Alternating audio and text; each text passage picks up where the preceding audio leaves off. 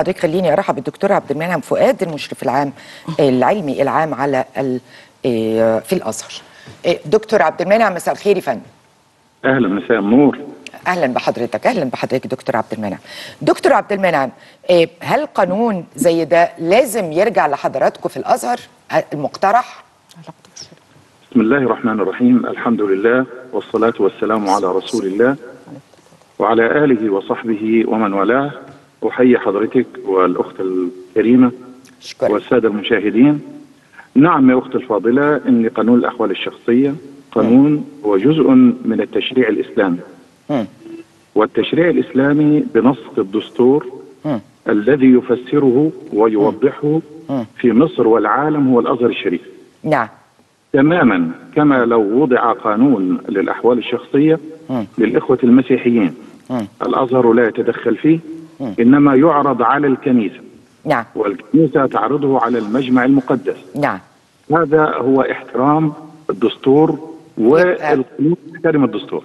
اذا اذا آه، رأي الأزهر ملزم أم غير ملزم؟ لا هو هو اسمه رأي الأزهر. نعم. الأزهر يقول رأيه. تمام. هل الأزهر يقبل بحبس الزوج؟ هل حبس الزوج آه. يعد من أركان الزواج في الإسلام؟ أيوه. الأخت الفاضلة أنا سمعتها في آخر حاجة. نعم. عفوا. بتقول إني أنا عملت القانون بطريقة مجحفة. مجحفة.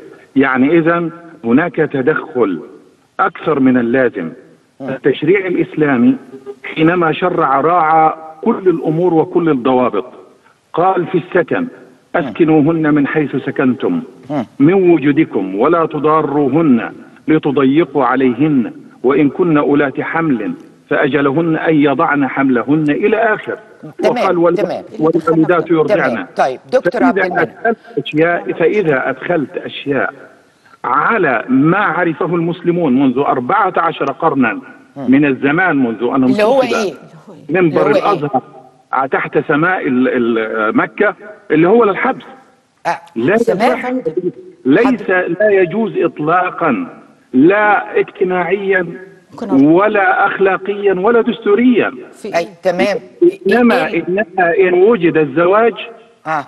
وحصل فيه إجحاف بعيدا عن العدل آه. القانون يطبق بالطريقة التي فيها المودة والرحمة التي تكون بين الزوجين. طيب سيادة النائبة عايزه عايزة تعلق بس أسأل مع حضرتك سؤال فضيله الشيخ بعد إذن حضرتك.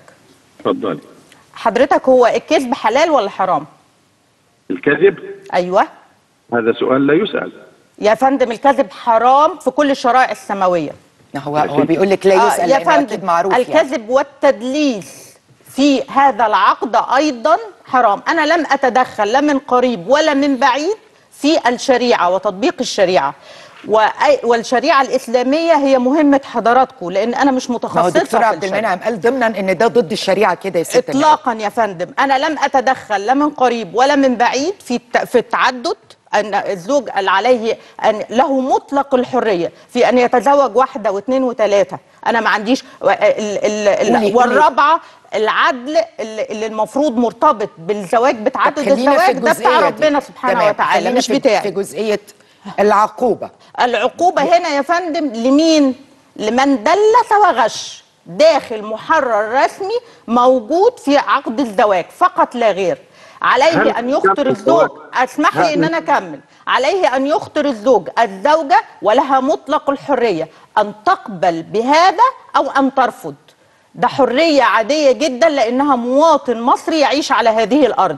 وده يوافق الدستور المصري ل طب 2014 خلينا نسمع دكتور عبد المنعم. اتفضل يا دكتور. الدستور المصري ينص على أنه لا أو القانون التابع للدستور لا عقوبة إلا بجريمة. رجل استعمل حقه الشرعي وليس من أركان الزواج ولم يقل فقيه من الفقهاء أنه يواجب على الزوج الحقائق في الحقيقة. يقول هذا الأمر. الرجل يستعمل حقه الشرعي لكن متى يمكن أن يتدخل القانون في أنه إذا خالف قضية العدل؟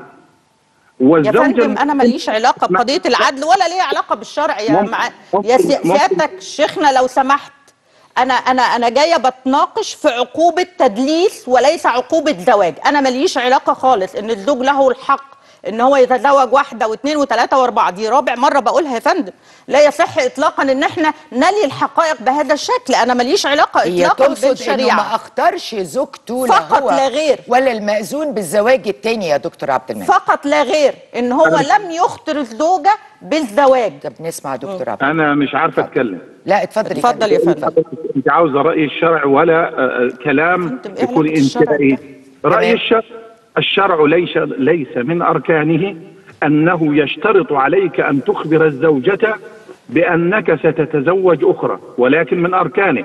الإشهار من أركانه العدل من أركانه إقامة السكن المودة الرحمة إلى غير ذلك. لكن هل فقيه من الفقهاء قال إلا الحنابلة لو اشترطت الزوجة لو اشترطت الزوجة في العهد يخبرها في العهد. آه. الحنابلة فقط قالوا قد يقبل هذا ال- ال- الشرط لو اشترط لكنها لم تشترط. هل واجب علي على الزوج الذي يستعمل حقه الشرعي أنه يحبس؟ أنه لا يستعمل حقه الشرعي؟ إن استعمال الحق لا يؤدي إلى العقوبة على الإطلاق ولا عقوبة إلا بجريمة. نعم. حضرتك أنا أقول شايف؟ حاجة. أنا أقول لحضرتك حاجة. نعم. شرع ليس ما يطلبه المستمعون. الشرع منذ 14 قرنا نعم. من الزمن زي ما قلت لحضرتك نعم. وهو وضع أركان للزواج وللأسرة المصرية وضوابط وشروط آه، فيها عدل وفيها صدق بين الزوجين. دكتور عبد المنعم دكتور عبد المنعم يعني حضرتك حضرتك مع فكرة إيه، ضد فكرة إيه، حبس الزوج كويس؟ و و ومع فكرة إنه ممكن المسألة تتحل بإن الزوجة الأولى تشترط في عقد الزواج على زوجها إنه ما يتجوزش عليها تاني. هذا الأمر لو وقع في مجتمعنا الآن ما حدش يتزوج في مجتمعنا. لكن اللي أنا عاوز أقول لحضرتك طب إن إيه؟ الحنابلة قبلوا قال إن قبل الزوج هذا الشرط فإنه يوضع في العقد. ده الحنابلة اللي قالوا هذا الكلام. الحنابلة فندم بس إحنا يعني ده أبو بالشريعة أنا عاوز أقول حنيفة لحضرتك نعم حاجة. أنا عاوز أقول لحضرتك حاجة. بالله عليك لو أن الزوج حبس والزوجة موجودة ومعها أولادها ما عشان الأولاد وصلوا إلى أن أباهم محبوس.